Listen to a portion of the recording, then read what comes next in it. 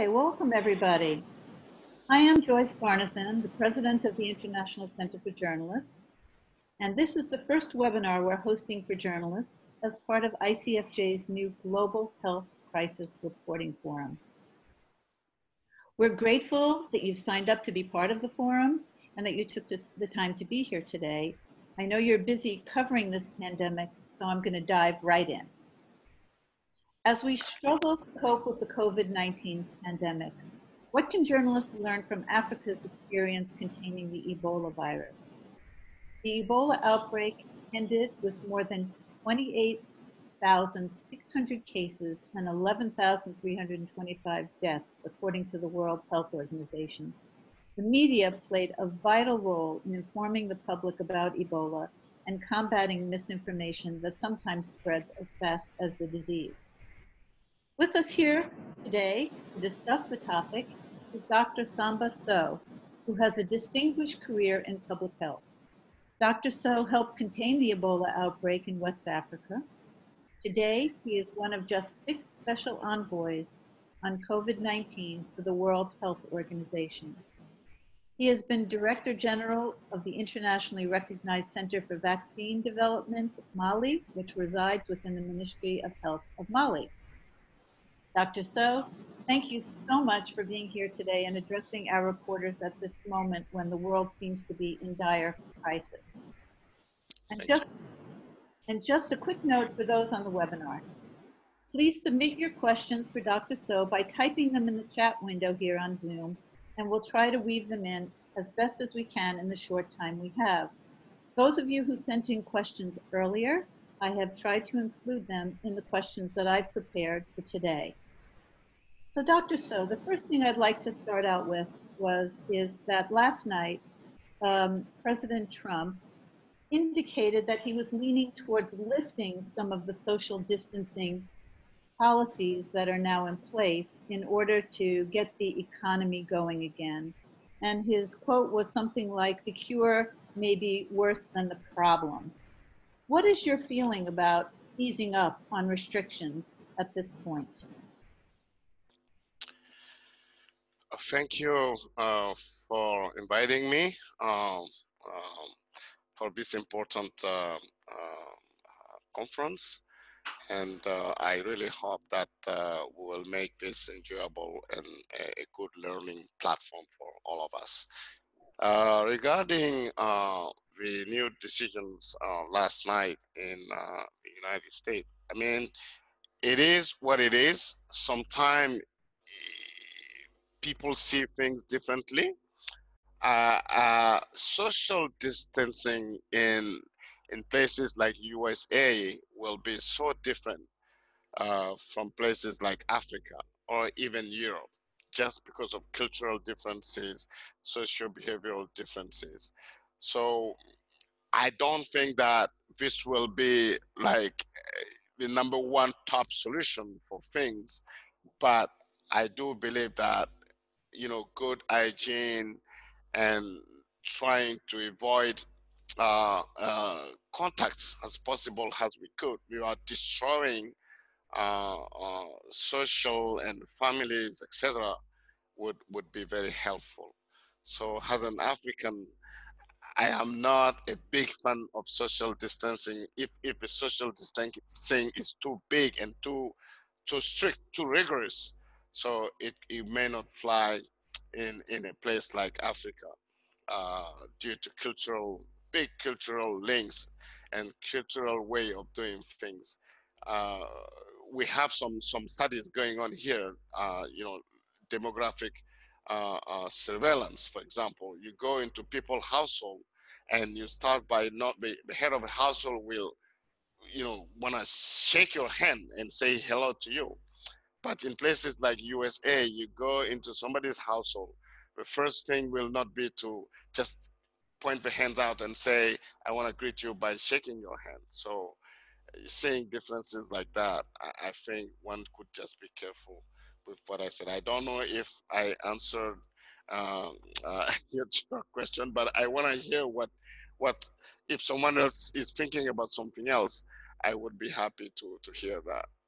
Well, let's move on to the, the, the most important lessons you learned from the Ebola crisis that are applicable for the coronavirus outbreak.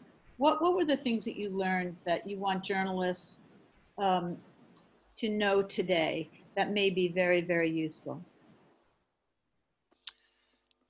If I want to compare uh, or put them together, coronavirus, this current coronavirus 19 pandemic with the Ebola outbreak, 2014 Ebola outbreak in West Africa mainly. I think the first difference is that uh, this one is much bigger and, and, the geographic coverage is a way much bigger. And, and number two, this one started in, in you know, white, Western wealthier, most wealthier population, like in Europe, in USA, in Asia. China is, is, is the origin. While the past Ebola in 2014 started in, in West Africa, in the most remote, rural, very difficult to access places. And, and uh, then the number of cases going up so quickly with this one compared to the Ebola. But one big difference with Ebola, between Ebola and this one, is that Ebola kills so fast and so, so, it's, it's, it's very much more severe disease, if I can say uh, somehow, because of the bleeding, because of the, the you know, the, the speed of the clinical evolution of Ebola. If when you see a real clinical Ebola case, once you see it, you will never forget. You don't need to go to medical school to, to get that. You just need to see it.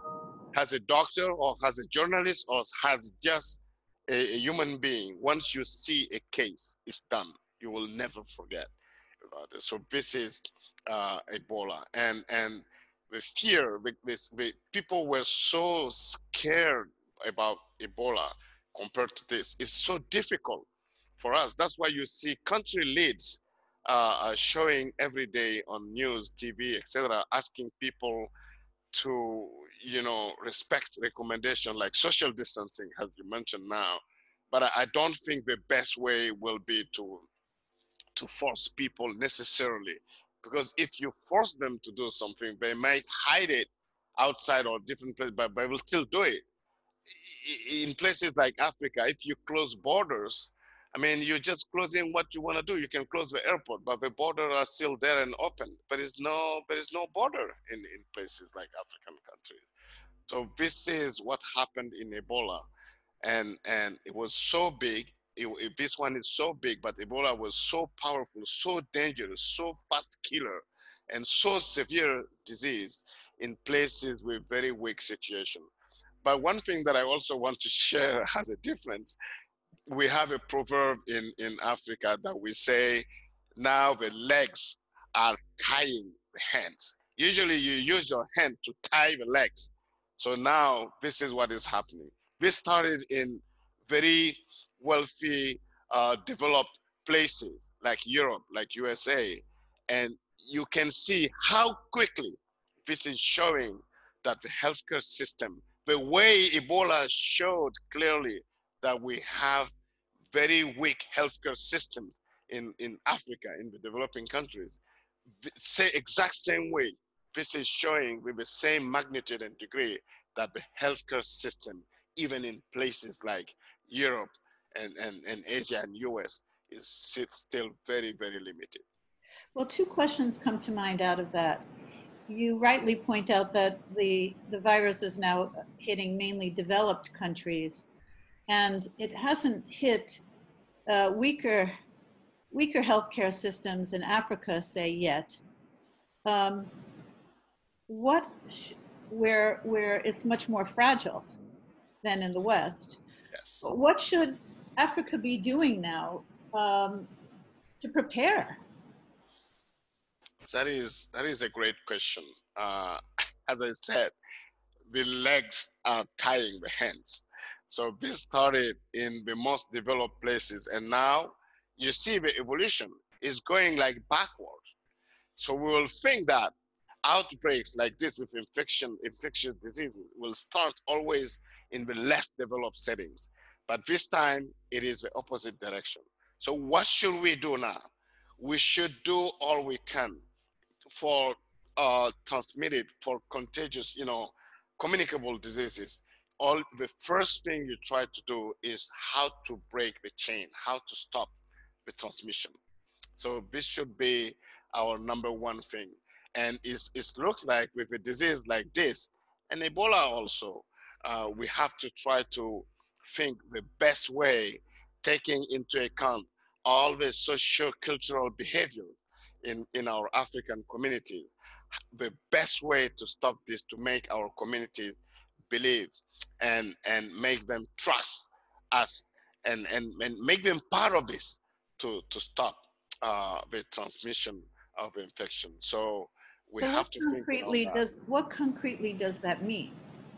For me, that means first of all, a lot of community information, sensitization, and communication. So having platforms like this, you know, inform people who are, are specialized in communicating with the right group. Yeah, uh, those people will take the key messages all the way down to the community level. So this is what WHO is trying to do. This is what the DG of WHO is trying to send out to sensitize country leaders, sensitize communication leaders so that they can take action, they can follow WHO recommendations in terms of stopping transmissions, uh, improving by improving hygiene uh, status, by improving uh, uh, uh the healthcare system uh, so that the healthcare system can function in a way it can capture suspected cases and it can capture, it can do better testing and and and capture confirmed cases and and proceed, you know, isolations, etc., etc., and care, you know, treatment of the potential cases early enough. Right. So I must say this is this is why the role of journalists are so important right now because they are communications leaders who can do this kind of job very importantly in, dis- in disseminating reliable information. yeah, we are counting on you to help us uh, do that. Um, in terms of testing, you know, some some countries in Africa, I don't have to tell you, don't have any cases at all, including your own in Mali. Hmm. Um, is that an accurate look at the threat, or has the disease been there and we're just not aware because there haven't been enough testing, so people are a little bit complacent about the threat? Yeah, you can call me Samba. Allow me to call you Joyce. Okay. this is a fantastic point. Um, there are countries, you're right, there are countries where the detection rate for both, you know, syndromic detection, suspect, suspected cases, and confirmed cases is going up, it's, it's going very fast. There are places where it's not moving.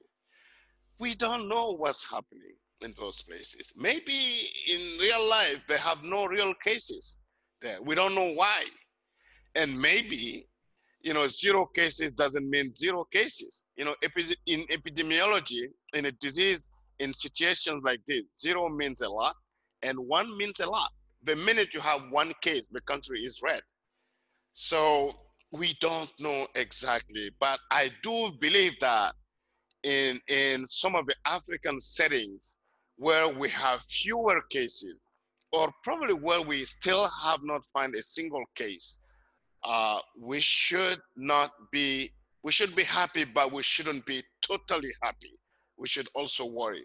It doesn't, zero doesn't mean zero actually, maybe. Maybe it means zero. So what it tells me is that we need to focus on those countries to investigate and see if things are happening the way they are supposed to be. Things like detection, detection of suspected cases? Are they following WHO recommendation? Definition, operational definition, are they following WHO recommendation? Mm -hmm. Laboratory procedure, are they following WHO recommendation on things like that? So we need to really carefully look at maybe the logistic uh, are not there. Maybe, maybe, maybe there should be a lot of maybes there. So I agree with you.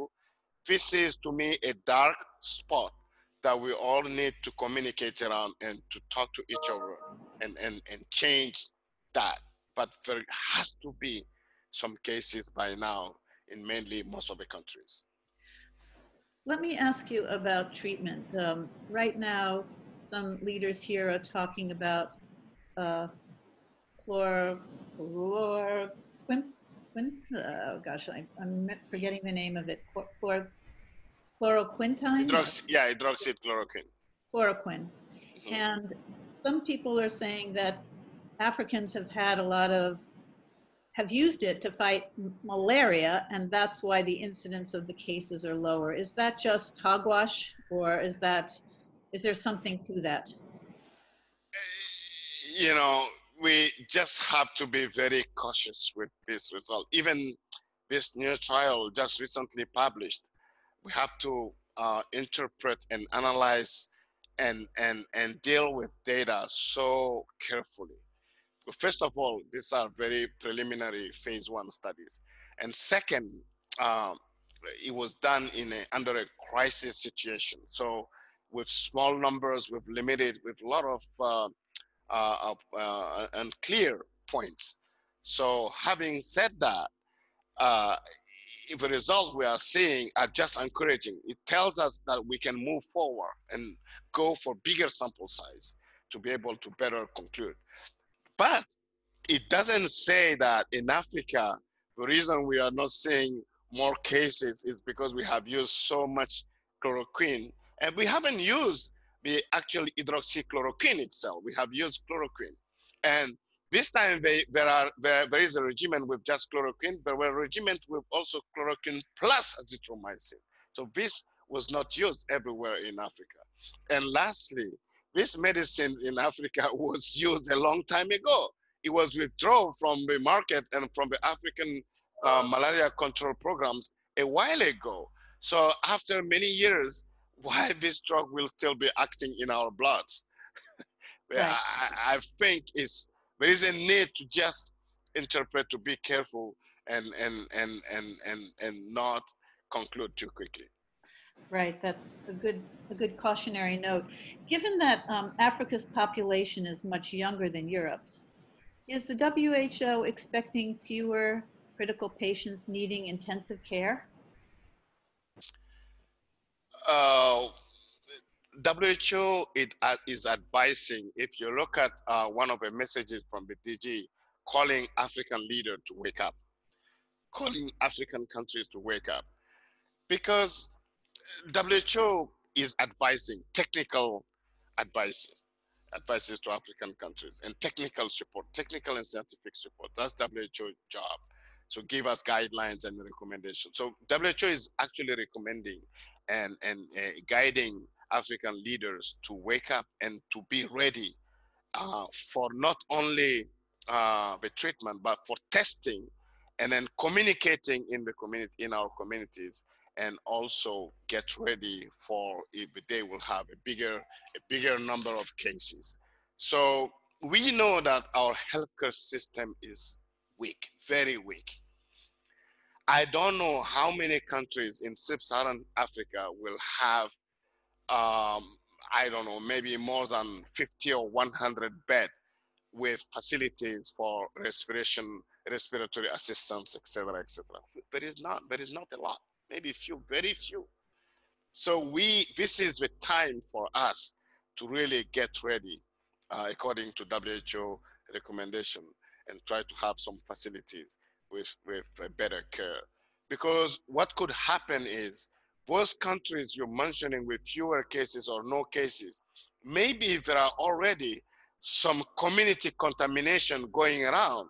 So the day they will start to detect cases, maybe they will detect actually bigger clusters of cases.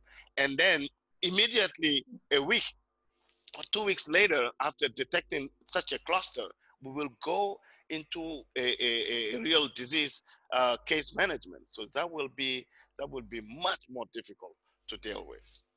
What is the state of testing in Africa now? Do, do, African countries have access to tests? In the U.S., it's been a big issue because hospitals say they don't, they haven't to date had enough tests available. You know, this test is being done by, you know, a, a, a, a molecular biology. It's a real-time PCR machine that does it. I don't know in sub-Saharan Africa. South Africa, South African countries usually, in South Africa, it's good. Sometimes East Africa is also good. I know there are good laboratories in some of those East and South African countries, but the sub-Saharan Africa is kind of empty. I don't think if there are countries who will have laboratories with more than one good, well-maintained and GCP and GCLP, good laboratory practices, uh, procedures with a good maintenance and trained personnel to run uh, those PCR machines.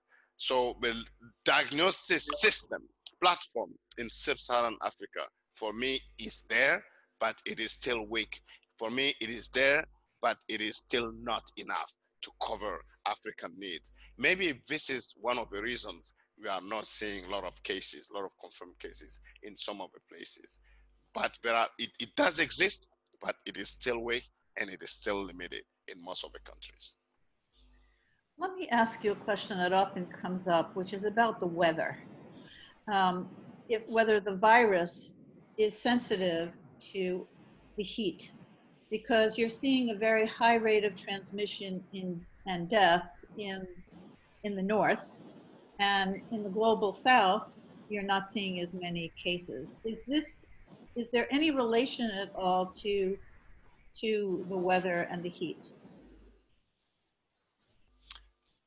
I would I would say uh, that it is too early to conclude also on that. There are a lot of data collection and research going on, but we found you're right. We found more more cases in cooler, you know, uh, less hot countries compared to hot countries. But it doesn't mean people were saying three weeks ago, four weeks ago, that this will never come to Africa because it's too hot in Africa. So now there you go. We're seeing cases in Senegal. We're seeing cases in Burkina Faso. These are very hot countries. We're seeing cases in, in Guinea, in, uh, in Cote d'Ivoire. So it's not then because of the sun. So it has been shown in some Chinese papers that this virus can stay alive outside for a long time, for actually a couple of days, with lower temperature up to 20 degrees centigrade. But it's also been shown that it can stay outside in a place like Mali up to 30 plus degrees centigrade uh, for a couple of hours, just outside on surfaces, etc. So then, even if this has some relationship with weather, with climate, we know all flu will have some seasonal uh, pattern, but it doesn't mean that Africans should take that has you know uh, a, a, strong conclusion and say we will not worry about this this is a virus that can live in African body. It can live, the, whole thing is when it enters your body, does it live there when you are on the sun or when you're sitting inside in a cold room? There is no difference. It can kill you wherever you are.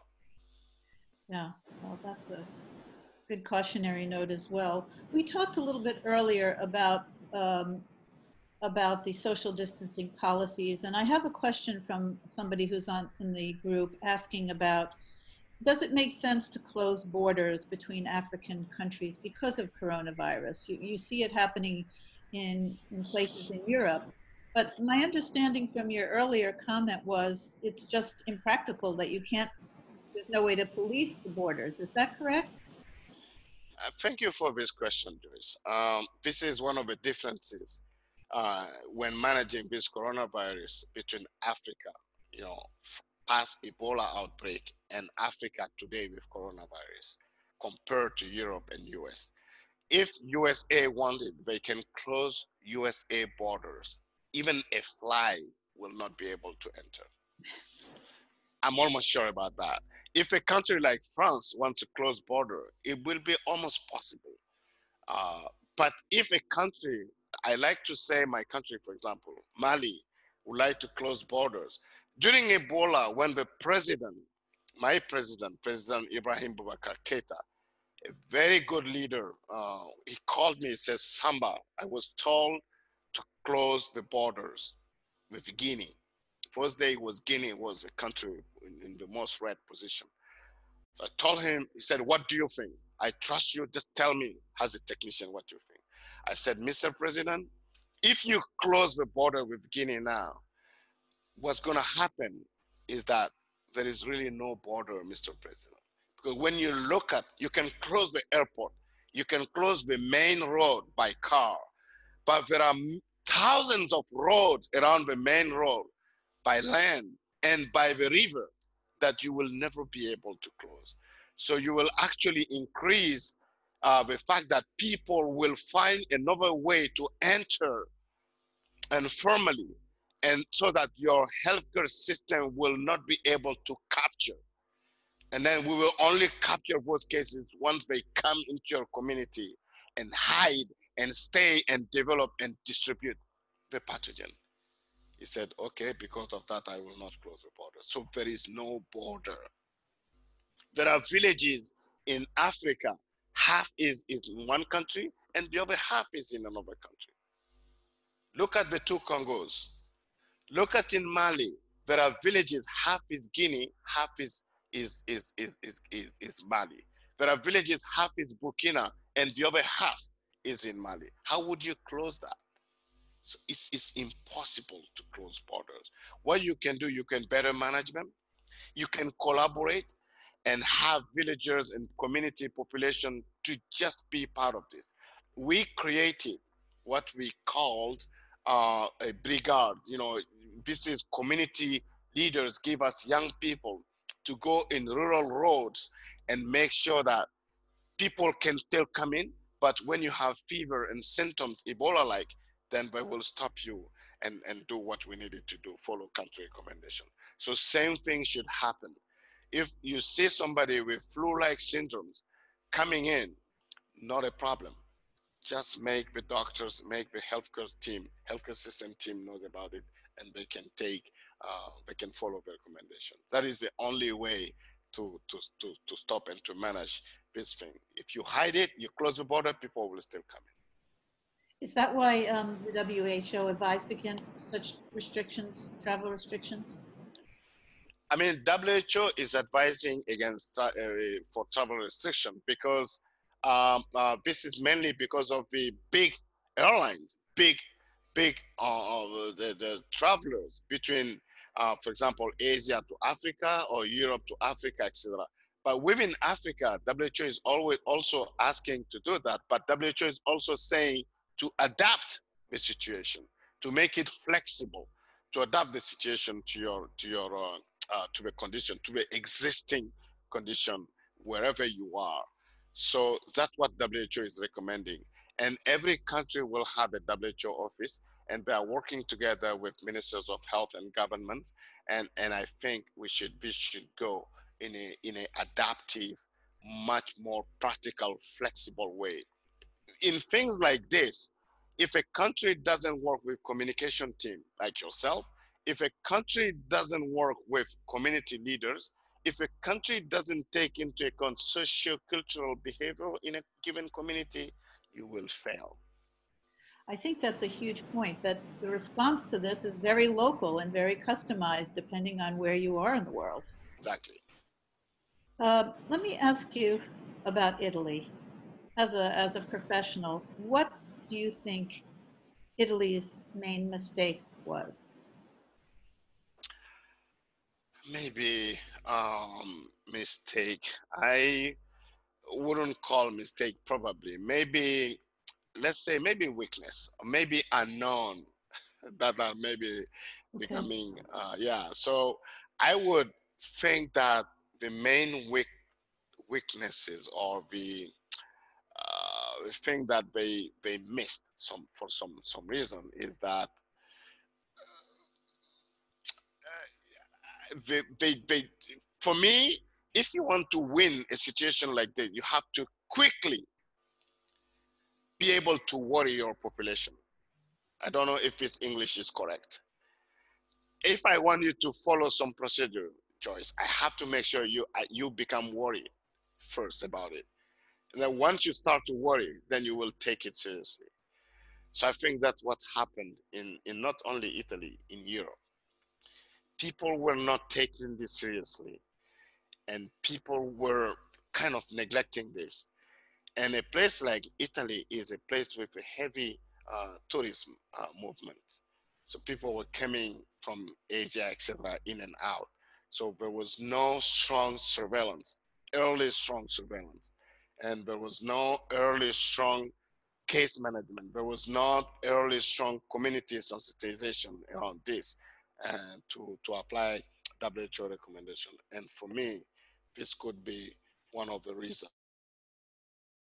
Italy is becoming this because the transmission germ is still going around. So they have to stop it. That's where they need a heavy, strong uh, uh, social distancing and, and heavy, strong uh, uh, uh, communication, information, and sensitization of people. To get back to my first question on the U.S., you, I, I, if I understood you correctly, Samba, you were saying that you thought that the social distancing policies were a bit strong. Um, is that your is that your you know the, the population is worried this for sure we are worried but um, the question is whether the the remedies we're taking are are harmful economically with forecasts of maybe 30% of the population going unemployed versus the real healthcare risk to people who are susceptible, especially the elderly. So I'm asking you, do you think that the US is on the right track or easing up is not a bad way to go? I mean, again, I don't know very well uh, the U.S. Uh, public health policy, but and and the U.S. you American uh, social uh, behavioral um, attitude and and and uh, uh, and I think it is a little bit strong. I really think that it is a little bit too much because when you make things so difficult and so rigorous, what will happen is that people will try to find their own ways around around your your your condition. So then they will hide to do things they will have everyone will try to have their own plan Bs.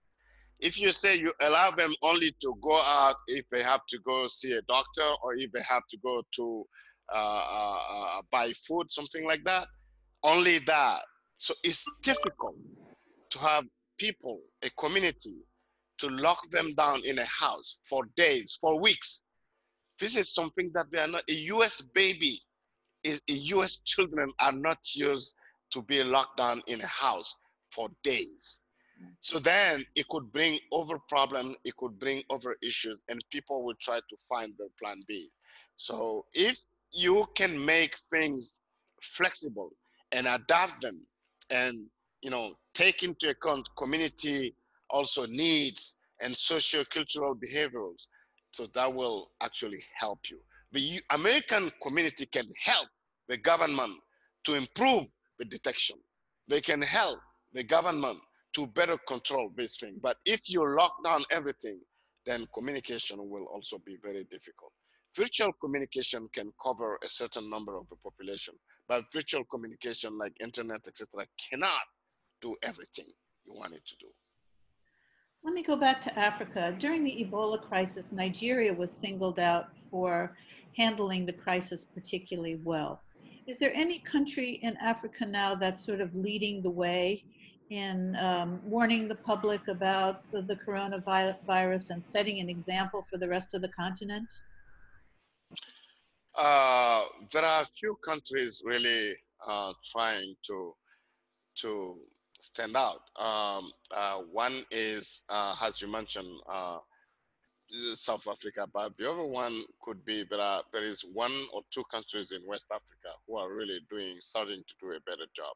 So one is uh, Senegal, I think. I saw some something on the news there, and and uh, uh, now that Burkina is uh, seriously in serious uh, uh, situation with coronavirus because it started with the top higher level population. So I'm sure Burkina also is trying to to to do some uh, of communication. But in general, in Africa, I have to be very frank with you, very honest with you. The population is still not worried about this. And the country leaders are still not really seriously worried because there are there are elections going on in some countries. So I can get that. And some countries are still not gathering together all their potential, you know, their capacities together so that they can work as a team. Not a single minister can work on this. Not a single government can, can do this. Not a single community can do this. You have to put team together at the national scale. You have to consider every single level, not only scientists, not only politicians, not only communication. You have to put everyone together to be able to. And this is not in most of the countries. There are elections going on in most of the countries, and there are, you know, still a lot of public events going around in a lot of the countries. So we need to really um, wake up and try to come together as a team. I have a question from somebody named Amelia who wants to know if funders want to help African countries prepare better for this. What do you recommend? Where should the money go and how should the money be spent? Right? Uh, when it comes to money, I'm always bad on that, but I will try to to say what I what I I I, I, lived in during Ebola. I realized during Ebola that there are a lot of partners who, who will come in the country and say, we want to help. We have this and that. And most of the time, partner will have some specific domain, some specific field only where they can help. And they want to have their own specific way to, to manage their fund in, in, you know, locally in that country. So if you start to do that, then the country leader will say, okay, this is your job. So you may end up working separately. So there is a big coordination issue when it comes to things like that in countries. So I would think that whenever somebody is coming to help, you have to work with local team. It could be government, it could be some other local NGOs, etc. So you have to involve always, uh, no matter what, you have to involve the local government so they know what is going on and they have to be part of this. And then when it comes to managing your own fund, you can set up whatever management system you like to set up to, you know, for transparency reasons, but you still have to let the government, the local government knows what is going on in that area. Um, so I think if we need help today, the very first level for helping us is to improve the detection and the diagnosis. So meaning the surveillance, local surveillance. Our routine, existing routine surveillance today is so weak in many, many African countries. So if you want to use that system to be able to control, detect uh, this coronavirus 19, you will fail. You have to set up a better, a much more improved surveillance system, even if it doesn't cover bigger places, but you have to set it up so you can have start with a syndromic detection and then try to confirm some of those by having a, a better lab in a in a referral center or in a research center in that country so that they can, they can do that. For you to do that, you also have to develop infection prevention control because you cannot ask people to go do surveillance, to go frontline if they don't have the minimum supplies they needed to do. Let me ask you a question about misinformation because sometimes bad information can cost lives. Um, what, I, and I recall during Ebola that there were all these rumors circulating that if you consume salt, you could keep the disease away, and that in some cases, more people died of salt intake than they did of the disease, I think, in Nigeria. So, what advice do you have for citizens about where to get their information uh, in Africa? We hear a lot of things about Ebola, but this is, I'm happy you asked this question as a communication uh, specialist. I would think that this these rumors will go around and around. Even today, I hear some rumor that if you use uh, some traditional plants, that you can kill Ebola virus. So they're asking people to do that. And I saw some saying yesterday, kind of prayers. If you do those prayers just in a water and you drink and then you, you wash with it, then no more, no more coronavirus. And these people, unfortunately, are the most powerful people in sub-Saharan Africa. If you bring down a professor like Professor Karen Kotloff, or you bring down the DG of WHO or the DG of Afro WHO, Dr. Tedros or Dr. Moeti, in a village. So these people will come and explain WHO guidelines on how to protect, how to prevent, etc. And the traditional healer will come out then and say, forget about that, just do this, don't do this. People will listen to the traditional healer. That's where I'm saying communication is key. Communication, it starts always with communication. It continues with communication and it ends with That's number one. You have to do individual communication, not only community level, but you have to target those key individuals in a given community and talk to them individually, convince them, and show them the truth and make them believe that they are part of this. That's one way. The second way is you have to try to identify the origin of those bad rumors if you can in a given community, or at least the lead person who is, you know, taking over these bad rumors. If you can identify those or a group of people, then try to uh, uh, target those and and and talk to them specifically that will help you to to to bring down the, the, the, bad rumors. We we have a good example during Ebola. I, I went to see an imam, and this person was telling me I w- I wouldn't say names was telling me that there is no Ebola in his in his uh, in his family that uh, you know they are fine they only do pride that they don't need and he was saying that they actually bleach the water and the, the gel that we're using to clean our hands is where we have Ebola viruses. And then the next day, uh, two days later, his first son got sick and died. And then his first wife got sick and died. And then he got sick and he died. But before he died, I got a chance to talk to him. And he said to me that all I said to him before was true. So then, uh, this was a good example for me to the rest of the community. So it showed me a lot of suspected cases, and I communicated with the country government, and then they, they, they were able to after those suspected cases, transfer them to the Ebola treatment center, treatment. So communication is key, and take into account you cannot control a big outbreak or pandemic like this in places like sub-Saharan Africa. You have to involve social behavioral science people. You have to involve communication officer. We are doctor. We are not specialists in communication or social. Karen can treat. I can treat somebody, but we don't know how to better communicate. We need you all, and this is a good start in in in in in a, in a place like you know, US or in like worldwide. Uh, I really and thank you for organizing uh.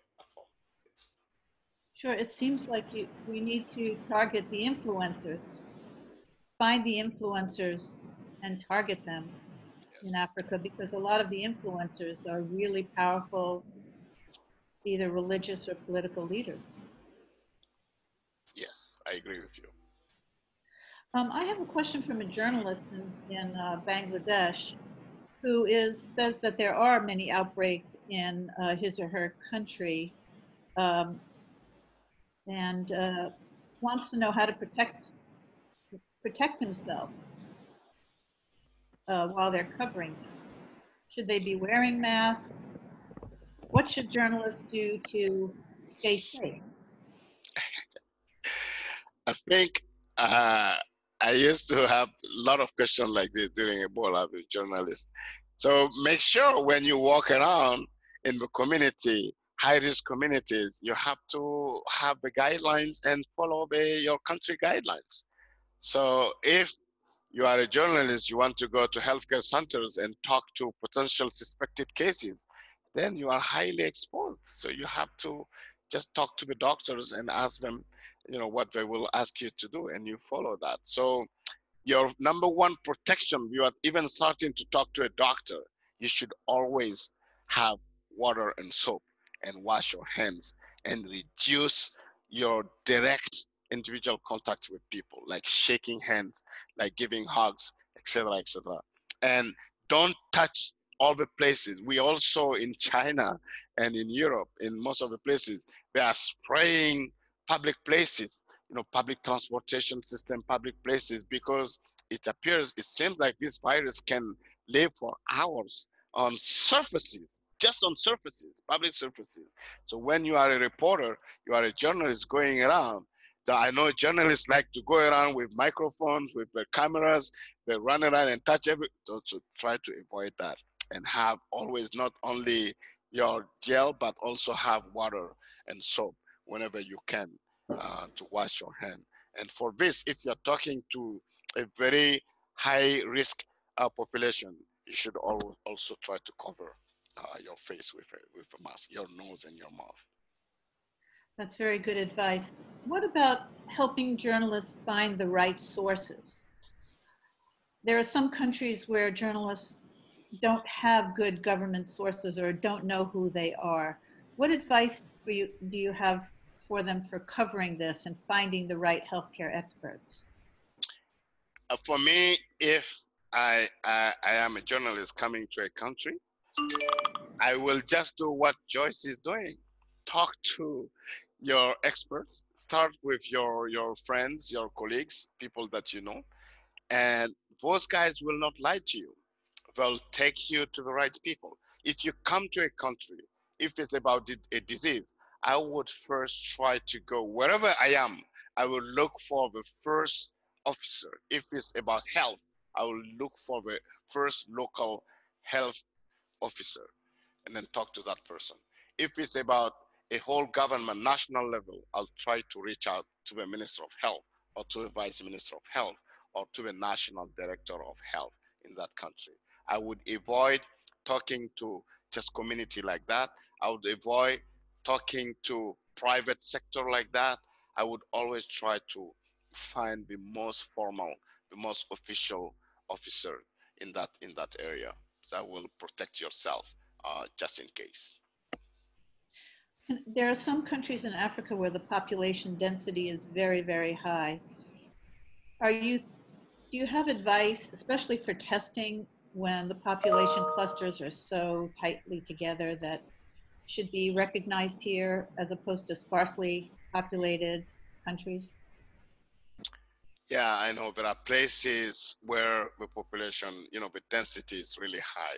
And this is unfortunately the case in most of the uh, sub-Saharan African capital cities. Uh, we have really high dens and our our public markets and our public, you know, some even some some really much very populous villages, and that's how that's why I was recommending to study uh, the socio-cultural behavior because if you go into those uh, crowded population and you just want to separate people. You want to say hey you have to be two meter from each other one meter from each other then you can bring serious problems. Instead of having uh, the the positive effect impact you will you may end up having a negative impact.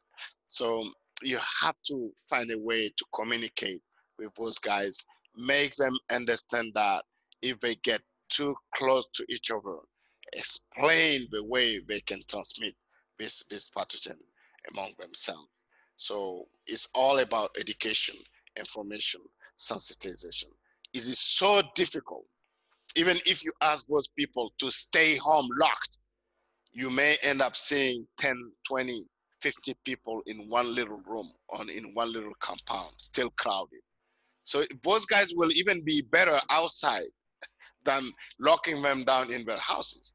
That's why I said you have to be flexible. You have to consider the local situation. You have to see physically some of the situation for you to better understand and to study, to think with them the best way by respecting their, very, very, very humanitarian and very, you know, you have to respect population. You, it's not about to put them in jail at their own houses. You can't, you can't do that in places like Africa. People will kill each other. It can, it can turn out really very, very badly. Right. Um, I have a, a medical question. Do you, can you get the coronavirus twice? there are papers, I mean, not even papers, some discussion. There is no scientific proof. There are seems to be cases in some of the countries like China where they think that people are getting it twice, but there is still no strong uh, uh, uh, uh, uh scientific proof that this, you know, would happen. And we don't know scientifically for sure that if you have it once, that you will have enough you mean your immune system will have enough protection so you will not have it twice. You know, we know that if you have flu once, if you're not vaccinated, sometimes even if you are vaccinated, these vaccines are not 100% uh, efficacy. So you can have it twice. Uh, but for these cases, we need time and we need more to study more. But there are hypotheses uh, that are saying that you can have it twice. Well, that's scary. And we don't have any idea about how long immunity will last if you have immune, if you are immune. Is that correct? Too early uh, to also say something in that. WHO is uh, recommending to continue with more studies and bigger sample size. You know, sero sero survey, immunological surveys and studies to be able to to to come up with final some very strong final conclusion. It's too early. Do you think we should be mass testing throughout Africa now, the way South Korea did? This way you can start to know more scientifically who's at risk and essentially isolate those. Mass, mass testing in countries like South Korea maybe can fit with what, you know, the, you know, the real life situation in South Korea. But I don't think mass testing in Africa first of all, how would you organize that at the operational level? It will be very difficult, very expensive. And then second, if you end up finding a lot of cases, uh, even healthy cases, healthy but carriers, how would you handle with all that together? And and and and and third, you have to have really good quality, better platform to be able to to organize all that. So it's it's going to be difficult and what would be the communication around that what would be the communication around that so i would think that uh, in africa what we need is to strengthen the existing healthcare system so that if we are able to capture real suspected cases most of them i'm sure we cannot capture all of them and those that we capture if we are able to test them wherever we can do the test that will be nice. If we find confirmed cases, and then we follow WHO guidelines. And places where we cannot do the test because it's remote, because it's so weak, etc.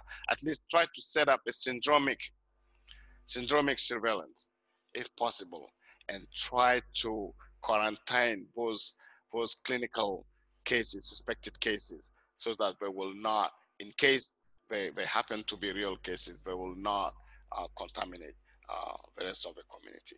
So this will be uh, the priorities, easy to go with uh, suggestion that I'm, I'm, I'm, I will make here. As a UN envoy, how are you spending your time now in dealing with the coronavirus? What are you particularly doing? So there will be a final terms of reference sent by WHO uh, very soon uh, on the role of an envoy but uh, uh, uh, this will be formally going out very soon. So right now, uh, you know, the key thing is to really uh, uh, try to try to echo, to work with the DG of WHO by trying to to echo um, the the key messages of, of the Director General of, of WHO. So our job is really to, to whenever we can, uh, uh, take part on different conferences with him, and whenever we can to to take his messages, his key messages, uh, to the country leads, and and to promote um, uh, of it, pro the provision of timely and reliable information about COVID-19 and ways to to minimize risks of infection based on evolving scientific information, amplifying uh, messages of, of WHO's um, uh, DG and WHO guidelines on coronavirus 19 uh, with government, with all the partners through all appropriate uh, communication channels, like a platform like this. And we would like to, to utilize all those channels for communication with relevant uh, members of all governments, including uh, as appropriate head of states and including uh, government members and, and, and partners to support outbreak uh, uh, and provide clear communication about risks and, and opportunities in, in compliance with international health regulation. So this is briefly uh, what a special envoy should do. So today, I I I haven't kind of formally fully started this job yet because of many many reasons. So one one main reason is we we are waiting to have our final formal terms of reference document signed off, and we are also waiting for our final appointment letter signed by the DG of WHO. But we are working virtually with the Afro uh, African region, for example, and with all the different regional WHO regional offices, uh, directors to try to be proactive and to participate into WHO conference calls and, and contribute uh, with ideas uh, to share with WHO and to share with countries. And, and we are also sometimes working with some colleagues in different countries asking us questions uh, and asking our opinions about some of the, the, the, issues in their countries. Well, let us know if you would like ICFJ to have more, to, be, to return to our platform again, because we'd love to be able to reach as many journalists as possible with the valuable information that you and WHO officials may have. Yes, I tried to invite a WHO senior communication officer today in this call, Unfortunately, I sent him invites very late. So, but he was so willing to join. Uh, but that will be next time. I will be very happy, and I'm sure we'll get back to you to try to help us organize something like this involving uh, not only African countries, but maybe African and around the world uh, countries also. And well, we maybe find, find a way to make it bilingual also or multilingual somehow. Yeah if you have that facility. We, we are doing um, some of the webinars right now in Spanish, but there's no reason why we can't do them in French as well. Exactly, exactly. So, let me thank you so much for your time, Dr. Uh, Samba. We're really, really grateful to you for, for the work that you're doing and that you took time to talk to journalists who are covering the crisis. Thank you. I also want to thank the reporters for joining us, and I just want to tell you to stay tuned. We have a really strong lineup of health experts to speak with you. Tomorrow, I'll be interviewing a colleague of, of uh, Dr. Samba, Dr. Karen Kotloff. I will be there. Okay, great. Join. And of the University of Maryland School of Medicine uh, at 10 a.m. Eastern Time. She is particularly well versed in how uh, on issues relating to children and viruses, and she'll discuss how COVID-19 affects children.